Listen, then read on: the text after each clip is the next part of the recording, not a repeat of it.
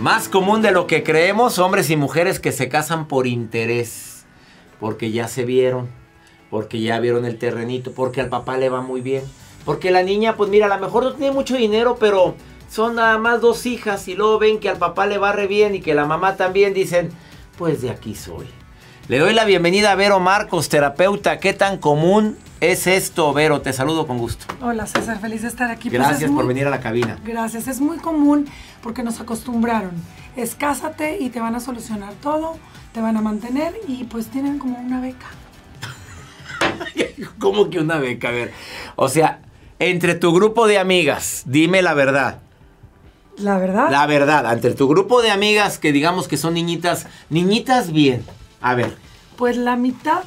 La mitad, Vero Marcos. Y las educaron así, porque es una costumbre que viene de generación en generación. Cásate, vas a tener beca y tu vida solucionada, aunque no estés feliz. ¿Se sacrifica la felicidad con tal de tener la tu vida resuelta? Yo lo veo como una beca, ¿no? Entonces tienen que hacer cosas para no perder la beca, ¿no? La beca. Tienes que quedarte callada, tienes que aguantar cosas, tienes que permitir que te sea infiel porque no quieres perder la beca. Te haces de la vista gorda. Y te premian además, porque tú le descubres algo y te regala un coche. Le descubres algo, te regala un viaje regala una joya. Entonces se acostumbran a premiarse con cosas superficiales y materiales y por dentro se están muriendo. Pero estás hablando del 50% de la gente que tú conoces. Y el 50% de la gente de nuestro municipio y de nuestro estado. Y, del estado donde vivo y de la comunidad donde vivo. O sea, la gente está buscando su beneficio material. Una comodidad. Y, su beca. Y sabes qué, te voy a decir algo fuerte, pero es es como un tipo de prostitución disfrazada. Pero Marcos, contrólate, por favor. O sea, a ese grado, pues... Pues tú dime, te están comprando.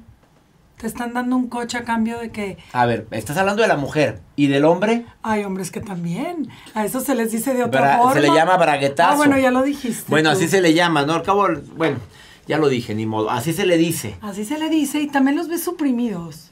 O sea, los ves a la sombra de la mujer y la mujer les dice qué hacer, cómo hacer y hasta cómo vestirse. ¿Qué tan poquito te quieres, tanto el hombre como la mujer, como para venderte a cambio de una seguridad financiera, pudiendo tú sacar tus potenciales y ser feliz haciendo lo que amas y generando el triple? Bueno, estamos de acuerdo que estamos viviendo en un mundo consumista, ¿verdad? Estamos con nos están vendiendo la idea de que la felicidad es que tengas esa casa y acuérdate los comerciales que te, que te anuncian en los medios de comunicación, una casa y una pareja feliz y con dos, niños hermosos, todos felices.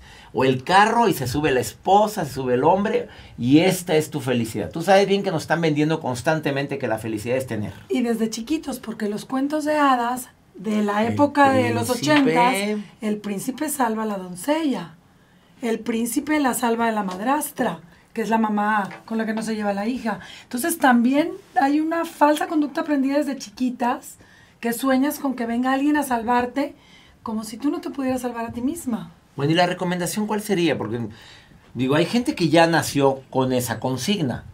¿Estás de acuerdo? Sí. A ver, conozco dos personas muy allegadas a mí que sí em, se casaron por eso. y no se ven felices. Pero, pues el carrito muy padre, la casa preciosa. ¿Qué, ¿Qué dirías tú que quieres recomendar como terapeuta? Y el corazón hecho pedazos. Y los sueños frustrados metidos en la cajita feliz. Porque ahí es donde todo está solucionado, cuando afuera están tus pasiones y lo que verdaderamente quieres hacer. ¿Qué es lo que yo recomiendo? Muy sencillo. ¿Qué es lo que tú quieres y cuáles son tus sueños? Realízalos. Cuando tú haces lo que amas, en automático generas dinero.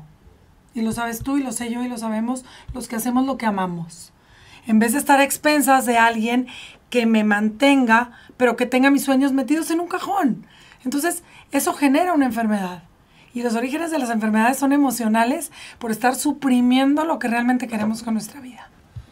A ver, voy a repetir la frase matona de Vero Marcos. Cuando haces lo que amas, el dinero viene por consecuencia. Exactamente en automático. Cuando haces lo que amas, generas en automático abundancia en todos los sentidos.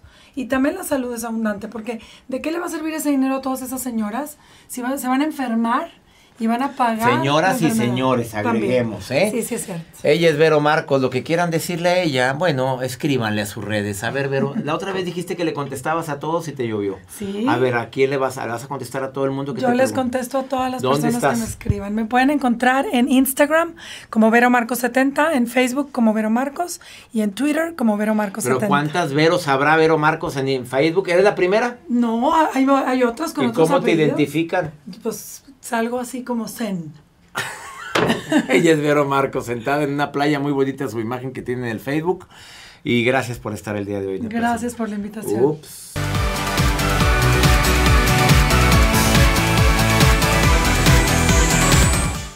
Hola, soy César Lozano y me alegra mucho que estés viendo este video. Ah, te recomiendo también estos tres. Están buenísimos.